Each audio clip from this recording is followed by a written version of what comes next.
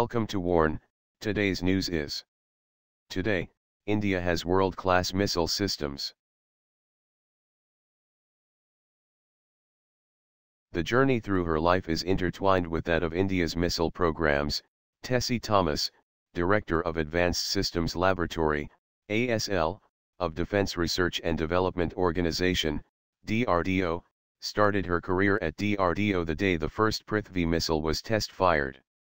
From that day on, in past two and a half decades, India has joined the club of a handful of countries having missile systems capable of striking in the range of 500 to 5000 kilometers even with nuclear warhead and has experimented with different propulsion systems. Thomas was in Ahmedabad on Saturday at Ahmedabad Management Association, AMA, to deliver 10th Dr. Lalita Iyer Memorial Lecture on the topic Women in Scientific Achievements. She talked at length about her formative years, her initiation in defense science and the road ahead.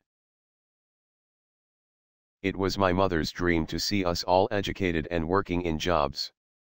In those days, there was nobody to provide career guidance, but I was very much interested in mathematics and dreamt to be an engineer even before I could understand its meaning, said Thomas.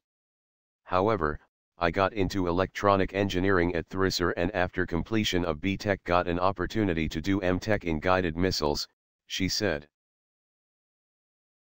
Among the few women scientists at the defense technology at that time, she got an opportunity to work at DRDO with Dr. APJ Abdul Kalam. Right from the word go, he was a constant inspiration.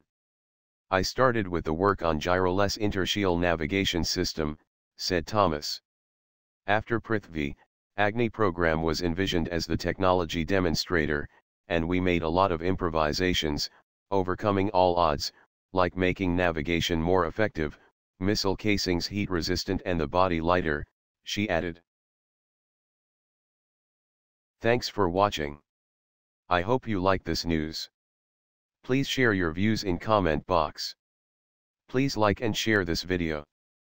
Press subscribe button and bell for auto update to you regarding my channel World Action and Reaction News, Warn.